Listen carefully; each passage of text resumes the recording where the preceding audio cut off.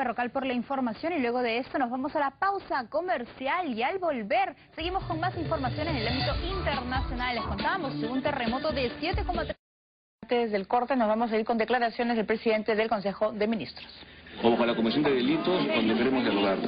Eso es, es, la, es la base del diálogo. La base del diálogo es dialogar con quien quiere dialogar y además dialogar con quienes se sujetan a la ley. Dialogar en medio de secuestros, dialogar en medio de hechos ilícitos, eso jamás. Esta reunión internacional eh, permite recoger estas experiencias de otros países centroamericanos y andinos para poder también, eh, aplicarlas en nuestro país. Sí, fíjese, estamos en el gobierno repotenciando toda la actividad vinculada a la conflictividad social. Vamos a dar un reporte la próxima semana eh, en relación a los alcances y cómo, eh, qué resultados viene teniendo el gobierno en relación a esta nueva política de diálogo. El doctor Vladimir Aguaro va a informar esto la próxima semana.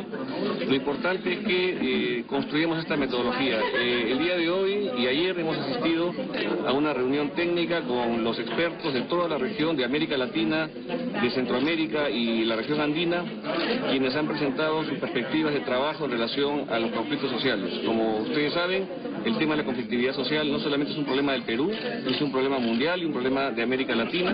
Lo importante es conocer qué es lo que se viene trabajando, qué se viene haciendo, cómo se enfrentan estos problemas, para aprender también de estas prácticas, para saber qué otras metodologías tenemos.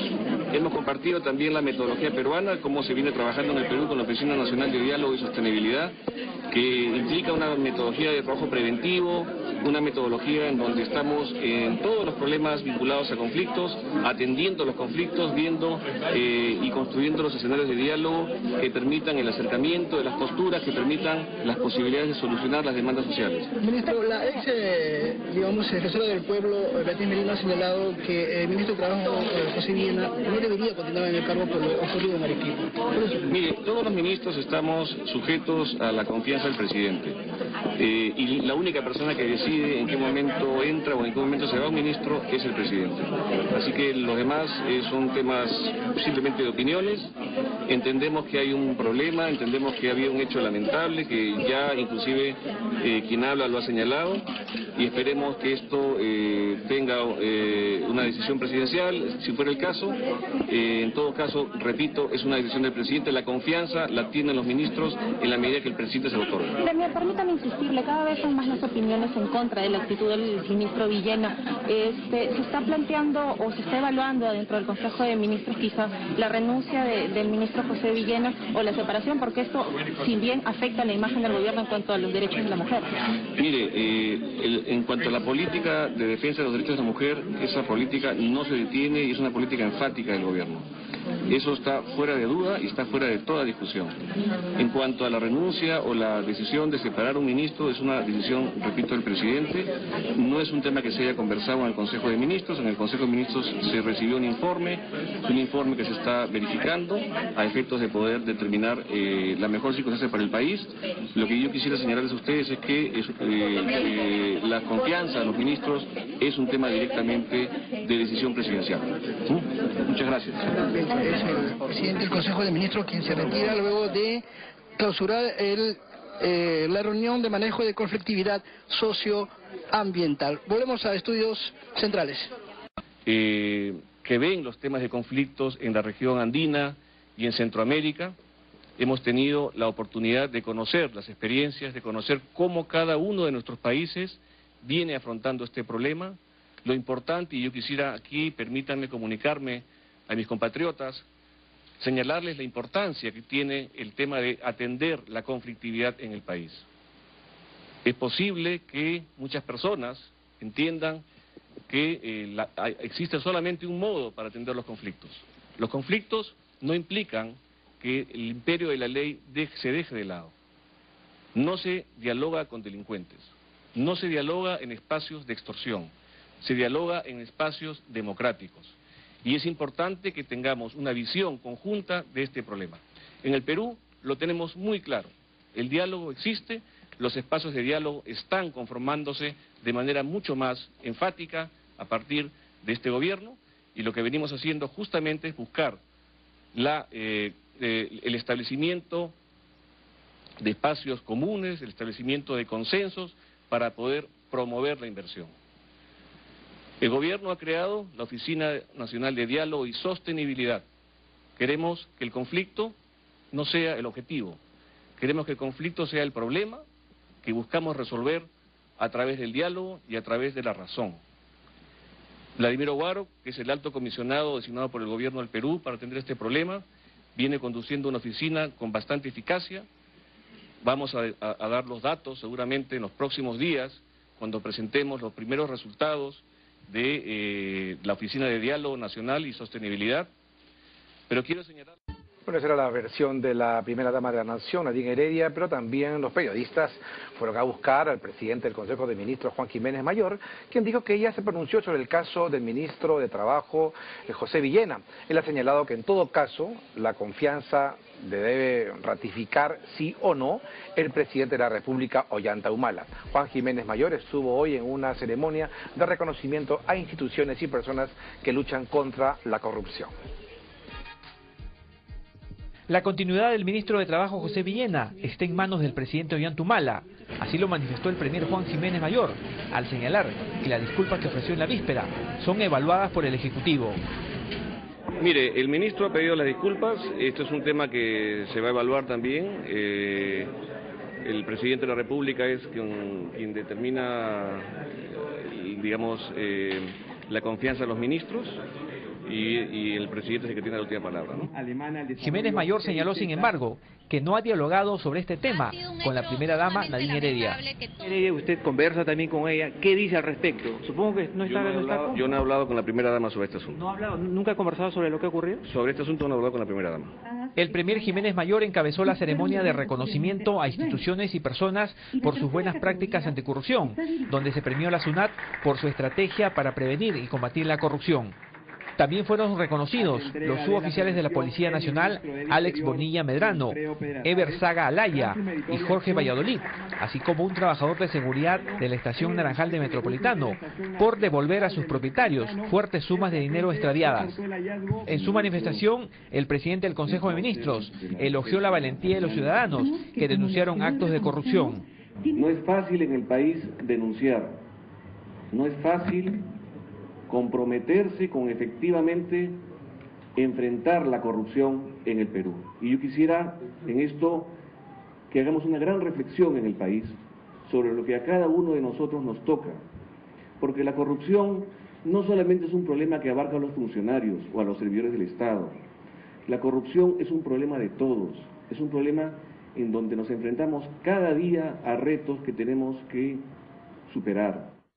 El Premier asimismo exhortó al Poder Judicial a facilitar el trabajo del Estado para recuperar el dinero que fue sustraído de manera ilegal. En los próximos días vamos a invitar a la prensa para informarles, para presentarles nuevamente la restauración del registro de funcionarios inhabilitados que durante el gobierno anterior fue desestimado, fue quitado de la página web de la PCN. El titular del Consejo de Ministros anunció que el Ejecutivo trabaja la ley de Procuraduría General de la República, que busca defender al Estado. Finalmente, el jefe del gabinete ministerial llamó a la población a participar en una marcha anticorrupción convocada para este domingo, a fin de expresar su rechazo a uno de los problemas que más afecta al país. Esto fue por la mañana porque por la tarde también el presidente del Consejo de Ministros, Juan Jiménez Mayor, tuvo intensa actividad. Él declaró a la prensa de que la minería ilegal tiene más ganancias en nuestro país que el narcotráfico. Dijo que el gobierno está viendo algunas acciones para evitar que la minería ilegal siga creciendo en nuestro país. El Perú ha, eh, desde hace un tiempo, desde fines del año pasado, viene enfrentando un serio problema que es la minería ilegal.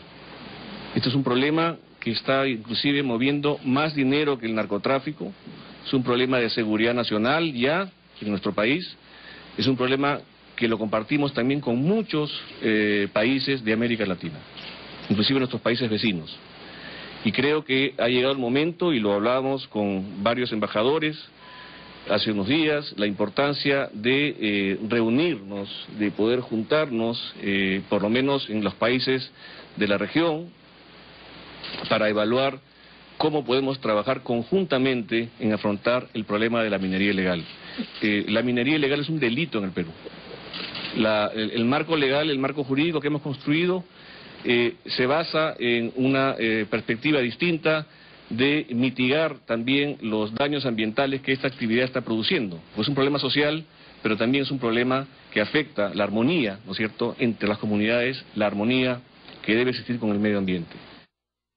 Bueno, y...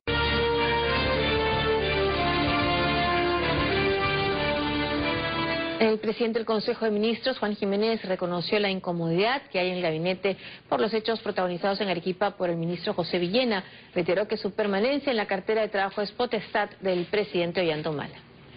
El presidente del Consejo de Ministros, Juan Jiménez, reiteró que será el presidente de la República quien tenga la última palabra sobre la renuncia o permanencia del titular de trabajo, José Villena.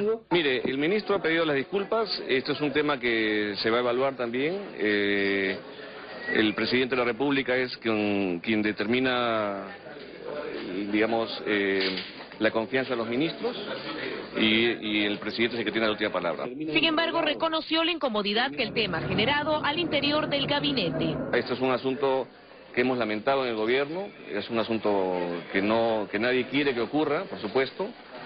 Eh, y el tema, eh, como les digo, eh, está en investigación y el tema está, eh, en todo caso, una decisión de confianza. Jiménez Mayor presidió la ceremonia de reconocimiento a las buenas prácticas anticorrupción. En la categoría institucional el premio fue para la SUNAT y en servidores públicos fueron reconocidos suboficiales de la policía por devolver a sus propietarios fuertes sumas de dinero extraviadas. El dinero extraviado era para poder enterrar a sus padres, porque entre manos habían hecho, habían colaborado entre todos para poder trasladar el cadáver de su padre que había fallecido aquí en Lima hacia Arequipa. El Premier anunció la próxima presentación de una estrategia nacional de lucha contra la corrupción que incluye la restauración del registro de funcionarios inhabilitados para el sector público. En compañía de los titulares del Interior y Justicia, Jiménez aprovechó para convocar a la marcha contra la corrupción que se realizará este domingo en Miraflores. La presidencia del Consejo de Ministros hizo un reconocimiento a las empresas públicas que durante el año realizaron buenas prácticas, esto en el marco de la Semana Anticorrupción. Esta mañana, en la sede de la presidencia del Consejo de Ministros, se llevó a cabo la ceremonia de reconocimiento a servidores públicos y ciudadanos que durante el año realizaron buenas prácticas. El evento estuvo encabezado por el jefe del gabinete, Juan Jiménez Mayor, quien resaltó la importancia que tiene en nuestro país premiar este tipo de acciones que contribuyen a derrotar la corrupción.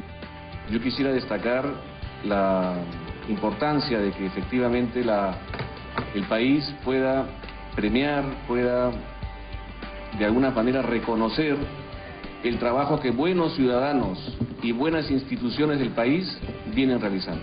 Entre los actos que fueron reconocidos destacan la de ciudadanos que denunciaron actos de corrupción y personas que devolvieron dinero hallado en lugares públicos. Ante esto, el titular de la PCM felicitó los buenos valores y señaló que en nuestro país es difícil denunciar e invocó a seguir este ejemplo. No es fácil en el país denunciar, no es fácil comprometerse con efectivamente enfrentar la corrupción en el Perú. El Perú no, no, no, quiere la corrupción y creo que el ejemplo que han dado ustedes al país es muy importante. Yo quiero resaltarlo y quiero invitar a todo el país a que así como ustedes denunciaron actos de corrupción, todos denuncien actos de corrupción. Finalmente, a su salida de la ceremonia, el primer ministro fue consultado sobre el escándalo en el que está involucrado el ministro de Trabajo, José Villena, por agredir a trabajadores en Arequipa, a lo que solo respondió que la decisión de que si debe o no seguir en el cargo le pertenece al presidente Ollanta Humala. El ministro ha pedido las disculpas, esto es un tema que se va a evaluar también. Eh, el presidente de la República es quien, quien determina, digamos, eh, la confianza de los ministros y, y, el presidente es el que tiene la última palabra, ¿no? El presidente del Consejo de Ministros dijo que la conflictividad socioambiental se debe tratar con el diálogo, pero primando el imperio de la ley. Juan Jiménez afirmó que la minería se ha convertido en un problema de seguridad nacional que debe tener una solución integral. El primer ministro afirmó que en el manejo de los conflictos sociales deben buscarse espacios comunes de consenso que tengan como marco la normatividad. La solución de los conflictos está en el marco de la ley. Eh, no podemos nosotros eh, estar presionando.